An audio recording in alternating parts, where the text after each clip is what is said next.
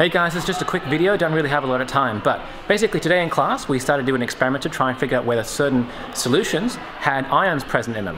Ions come from this thing called ionic compounds. And these are basically charged atoms that have uh, picked up an electron or lost some electrons to gain their charge. And they form these crystalline structures, which I'll show in a moment. And so the way that we tested whether these liquids were, uh, had ions or not is we passed electricity through them.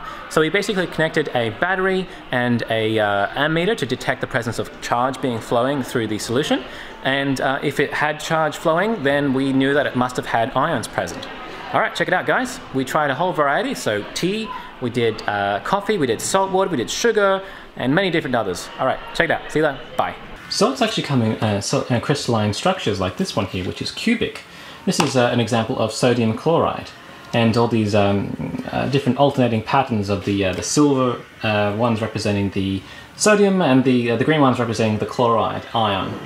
Now, um, when the things dissolve in water, the water molecules are actually able to get between some of these bonds in the crystal lattice structure, and they're able to surround the ions and actually pull them out so that they can help dissolve the crystal from the outside and slowly pull it apart.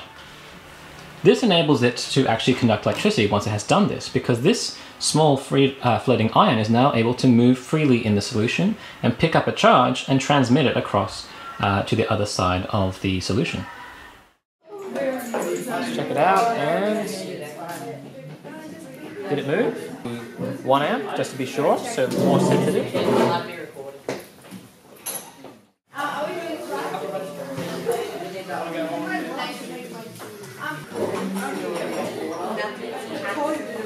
Plug it in. I'll keep an eye on this, to see if it moves. Nothing. Did it change? Nope, so we're getting zero current. So just rinsing them off so there's no tea left over on the...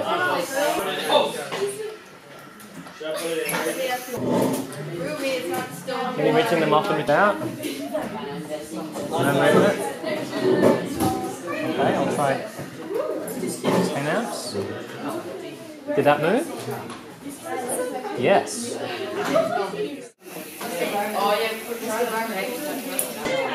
Salt water.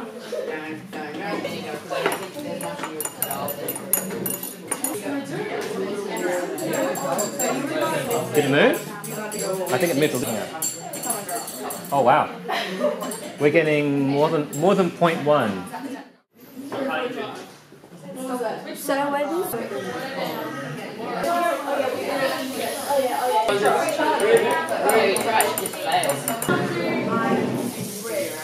Did it move? I think it moved a little bit. Let's try it again. It is moving. So yes, it's so to any change? No change. Zero therefore no ions.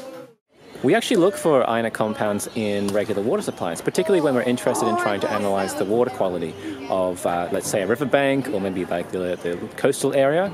So one of the things that can affect plant life and, and freshwater fish is how salty the water is. And we can simply just take a sample of it and pass some electricity through it and we can get a reading. And saltier solutions tend to give a much higher conductivity reading. So more current will flow through a solution that has a lot more salt in it.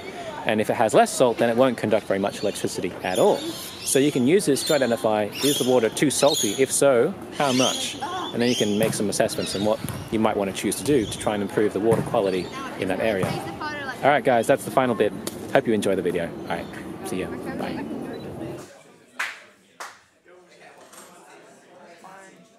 This one is sodium.